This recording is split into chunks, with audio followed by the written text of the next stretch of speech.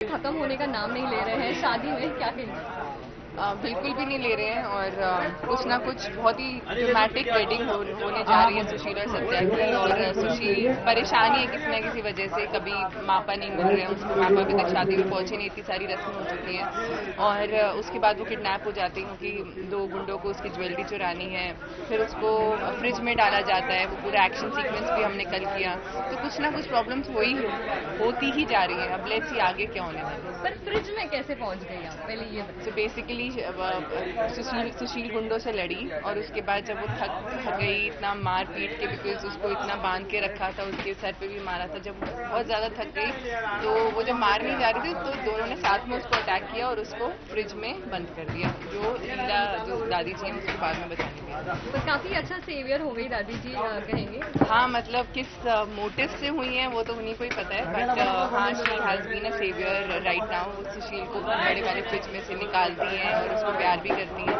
पर मोटिव क्या है वो तो मुझे पता।